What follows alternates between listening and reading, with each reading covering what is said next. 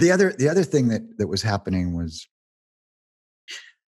uh politics started getting as an actor you had to have a, a political point of view and that became part of the part of this uh, requirement of being in the public eye of, of i can i have this power and so now i'm going to tell you what i how to vote and how to think and what to do and i i was, fell into that for a while and started this uh, this group called young artists united and um, the intentions were honorable which was that we were we, as young actors we would present ideas and present all the sides to people and let them decide but it, it ended up becoming this other thing where we're presenting one side and this is how it should go and i read this book called amusing ourselves to death and the thesis of that was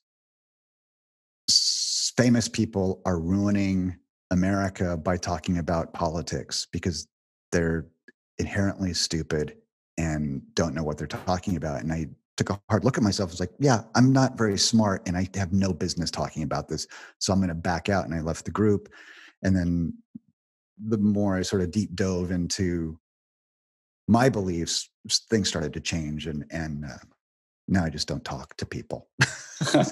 I wonder, was it, uh, was it always so cringy with, with actors um, speaking out? Because, because now, uh, I mean, in particular, the, there was the, um, that video that went out where I take responsibility. And it was a bunch of Hollywood actors taking responsibility for the the police shootings of black yeah. men. And it was just like, well, like we know you literally don't mean you're taking responsibility because you'd be, right. I guess, turning yourself into to the police. But uh, I was actually, I actually shot that guy. Yeah, yeah. I, it was, it was my knee on this man, on this poor man's neck, and right. and all that.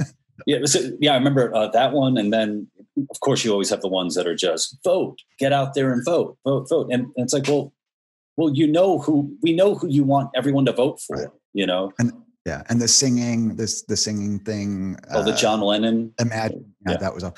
Yeah, I was on a in eighty. Well, oh, when I was shooting summer school, actually, there was a, a, a uh, proposition, California Prop sixty one, I think, it was which was the Clean Water Act, which was we should have clean water. Sounds great.